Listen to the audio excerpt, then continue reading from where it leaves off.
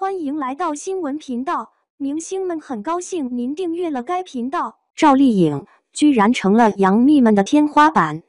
一周前，电视剧《风吹半夏》收官，豆瓣分数八点四，比《人世间》八点一都要高。女主角赵丽颖演技被赞有突破，九十年代的质感。爱奇艺站内热度过万，二零二二年也就五部剧破万而已。时代金曲的加持，剧中十几首九十年代歌曲作为 OST，整体演技在线。话说现在这都是高标了，还算流畅的叙事，一切都那么对。在官方口径里，这部剧挺爆的。豆瓣分数高意味着什么？其实恰恰意味着没出圈。打分群体结构里只有剧粉、主演粉或者原著粉，分数自然也就高了。一旦真的出圈，大量普通观众涌入打分，分数势必直线下降。分数维护业内叫控分，是影视剧必不可少的宣传方式。这更像是请君入瓮的把戏而已，以高口碑吸引普通观众。但如果入不了瓮，就很尴尬了，会出现分数超越人世间，却没有后者的现象级待遇。爆不爆，或者说是否火出圈？其实标准只有一条：普通观众跟身边同事或者亲友聊天时，会顺其自然地提到这部作品，成为饭局话题。二零二二年以来，包括《星汉灿烂》《沉香如屑》，甚至连《苍兰诀》算上，没一个真正爆的，都是粉丝剧罢了。只有人世间那种全民热议的现象级，才能说是爆款。恶对梦华录导也算一个，的确风吹半夏还没到街谈巷议的地步，不过也绝非是烂剧，实测保证品质不错，值得一看。但是错过也没啥特别可惜，有啥是非看不可的呢？其实看标题就知道，重点不是讨论风吹半夏这部剧，要说的是赵丽颖和杨幂们这帮所谓八十五花群体一。豆瓣上《风吹半夏》短评热度较高的一条是夸赵丽颖的，看了之后我只想说，赵丽颖和其他同期演员真的不是一个 level 了。豆瓣 ID 牛骨路南希，为啥是同期演员？还不是因为包括杨幂、刘诗诗、baby 等人在内的那一代八十五花都不咋地吗？但这条评论的奥妙在于模棱两可。既没说是由于演技炸裂而彻底脱离了八十五花的窠臼呢，也没说是由于作品牛逼而封神呢，就只是硬生生往上拔高了一截。因为从演技和剧集这两个层面来说，都远远不到。赵丽颖在《风吹半夏》里演技好吗？她的劣势在这部剧里非常明显，很多场景里都似笑非笑。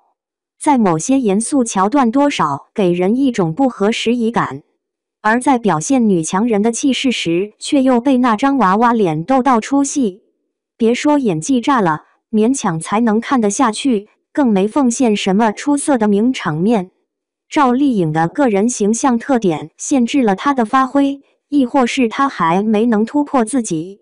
一个反例是周冬雨，她个人特色也非常显著。却能在某些作品中巧妙地掩饰，并与角色融为一体。要知道，不是从少女风向中年女性的转变就叫突破。但这些其实不重要。一部品相很好的剧作，或许仅仅只是非偶像的现实题材，加上不那么拉胯的演技，确实算得上八十五花们的天花板了。怎么说呢？都是同行衬托呗。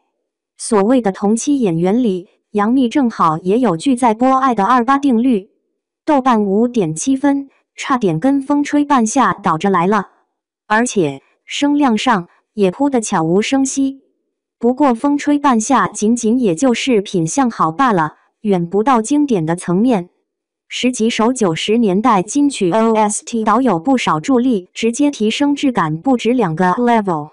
赵丽颖无法突破自我。也就意味着，他本身不能为这部剧增光添彩，相反，他受益于这部剧。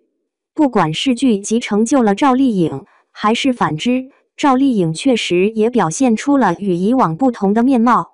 就因为这细微的进步，可以夸，也应该夸，但总觉得有些不对味。这天花板也太低了点吧？二，杨幂跟赵丽颖爱的二八定律对阵风吹半夏，同期剧集擂台赛上，赵丽颖胜出。两个人相似之处不少，同龄，一个三十六岁，一个三十五岁。都是八十五花的代表，又是演绎古装偶像剧声名鹊起，同样都与知名男演员结婚并离婚，也有很多不同。一个北电表演系科班出身，一个中职毕业生，一个生于北京家世很好，一个农民出身没啥背景，一个出道很早，四岁就参演影视剧，一个一十八岁还在街上发传单。二十岁才能进入娱乐圈，杨幂既充分利用了高起点，成功跻身一线，却也辜负了这么高的起点。她在娱乐圈的经营是成功的，在演艺事业上却惨不忍睹，频繁登上各类综艺，当老板带艺人，商业上的挖掘相当到位，对演技的打磨却近乎为零。当然，演偶像剧也无所谓演技不演技，从古偶到现偶。一条道走到黑，但是连外人都不由想，不会腻吗？常常会想起杨幂在星爷电影《武状元苏乞儿》最后几分钟的出场。五岁的她，可能是她目前演艺生涯里最可爱的演绎了。这是不少观众喜欢杨幂的原因。因星爷爱屋及乌，却只能无奈地看着她滑向深渊。杨幂是八十五花最具代表性的一位。也是豆瓣那位网友口中的同期女演员中典型人物。假如把出生于一九八七年的刘亦菲扒拉出去的话，老实说，刘亦菲的 level 确实要高那么一点点。毕竟专注混电影圈十来年，虽然所演电影评价普遍不高，但以往电影咖高于电视剧咖的鄙视链本来就是现实存在的嘛。更何况。二零二二年刚返回电视剧圈，就以《梦华录》这一毫无争议的爆款剧集而奠定了强势地位，所以不把刘亦菲摘出去，这个话题几乎没法聊。对于以杨幂为代表的八十五花们来说，重点是没有刘亦菲的闯进，不管什么原因，十年只拍电影也是拼；没有老一代章子怡、后一代周冬雨的天赋。甚至没有另一位昔日花旦范冰冰的心机，她陨落前其实一直试图转型。捆绑女导演李玉刻意引了几部女性视角强烈的文艺电影，从二零零七年的《苹果》到《观音山》二次曝光，再到二零一五年的《万物生长》，八年间尝试推出一部代表作。尽管李玉才华有限，未能拍出备受认可的佳作。却能看出范冰冰的转型意图不止在商业片上打转。然而，杨幂们几乎看不出这样的意图。所有接演的影视剧综作品，唯一脉络可循的只有一点：商业利益最大化。艺人本身就是商品，在商言商嘛，寻求利益最大化也很应该。但基本上缺失了过硬的代表作。提起杨幂，是古剑奇谭。以及《三生三世十里桃花》，还是古早的《仙剑奇侠传》，亦或是陆阳导演的几部电影，不管是《绣春刀》或《刺杀小说家》，杨幂都是毫无争议的配角身份。说的可是艺术性兼具的代表性作品，爱有吗？那刘诗诗呢？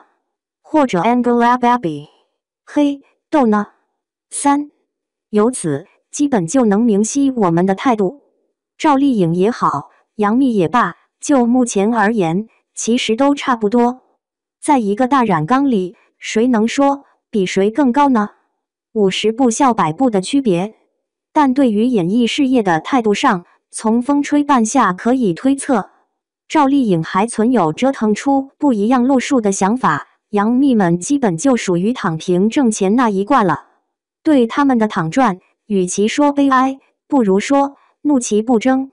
八十五花群体一直是尴尬的，比上比下资源都有余，但在演技方面，比上比下皆不足。然而，八五年到九零年之间的女演员群体，不是没有演技好的。谁？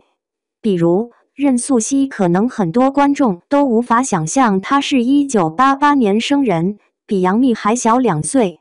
从《驴得水》声名鹊起，到《无名之辈》，再到《寻汉记》，演技没得说。她的深邃似乎超越了年龄。以至于显得杨幂们都还没成年。不过，把任素汐放到所谓八十五花里就太奇怪了。况且她还不乐意呢。二十八岁之前的任素汐一直默默无闻，直到演了《驴得水》，比赵丽颖凭借《陆贞传奇》大红大紫要晚三年。与五岁就参演周星驰电影的杨幂相比，更是沉潜许久。当然，形象上。任素汐也没那么有优势，也许恰恰是因为外部机会缺乏，自身条件欠佳，唯有默默打磨，造就出惊人的内敛演技。杨幂们不缺机会，条件很好，却一直游走在商业世界里无法自拔。演技不好好锤炼，上头条的能力倒是炉火纯青，后辈们也就见样学样了。前几天，女演员赵英子在综艺节目《无限超越班》里不害臊的自称“迪蜜梦渣”，在一群资深港星老炮面前，不嫌丢人吗？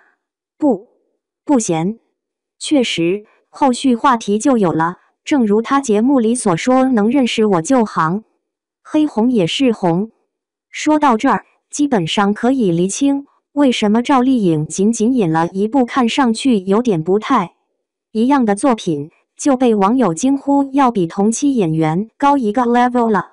还是那句话，全靠八十五花同行的衬托。风吹半夏是赵丽颖刻意转型的催化剂，或仅仅就是偶然？翻看赵丽颖未来几年的待播或筹备中的项目，跟以前也并没什么大的差异。那么她未来的路能有多少变化？